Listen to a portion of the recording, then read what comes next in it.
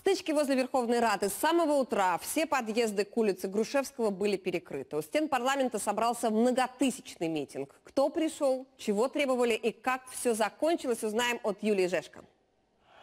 Пока в сессионном зале парламента голосовали, у его стен собрался многотысячный митинг.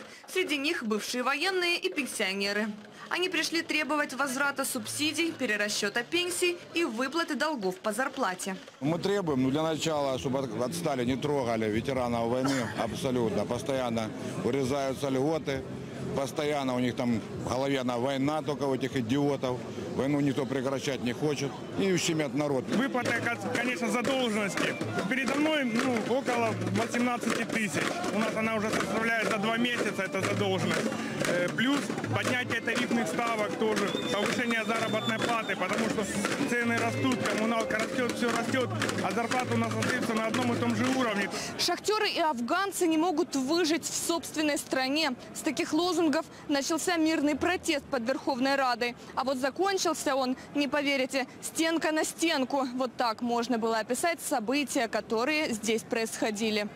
Нардепы проигнорировали требования митингующих. После этого на улице начались столкновения.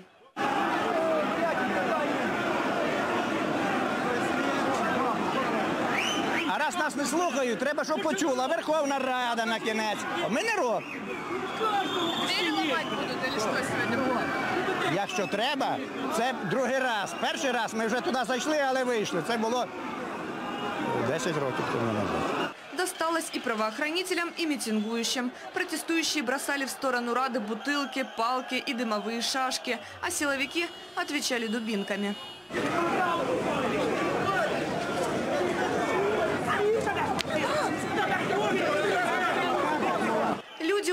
Уверяют, борются за кровно заработанные. Одним только шахтерам государство должно около миллиарда гривен.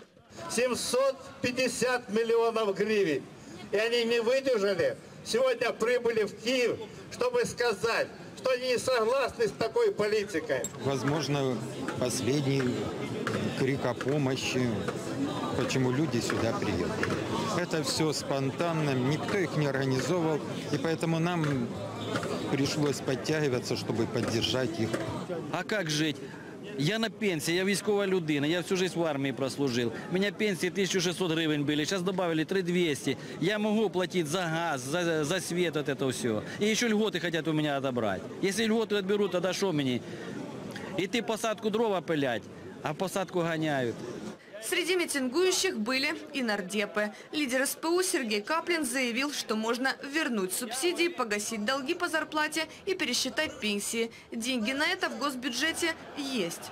Мы выдвинем ультиматум, жесткий, четкий ультиматум. Мы перекроем все дороги в этой стране. Мы создадим пять региональных штабов. Мы добьемся, что страна вернется простым обычным людям и перестанет быть собственностью барыг, перестанет быть собственностью олигархов, перестанет быть собственностью тех, кто считает себя хозяевами жизни и плюют с второго, третьего, а в Кабмине четвертого, пятого этажа на простых людей. Нам всем абсолютно понятно, что деньги для простых людей есть. Потому что есть премии для руководства нефтегаза. Потому что есть премии и невероятно высокие зарплаты для министра социальной политики, вице-премьеров. Спустя несколько часов конфликт утих. На место прибыли еще с десяток патрулей полиции.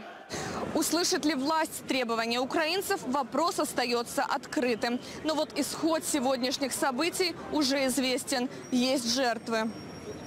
Юлия Жешко и Сергей Ведмидь. Подробности. Телеканал Интер.